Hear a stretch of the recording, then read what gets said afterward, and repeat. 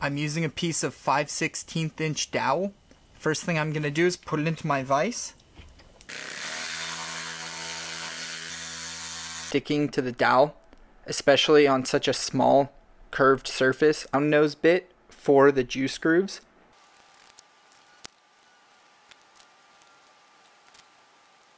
The juice grooves that run in the direction of the grain, just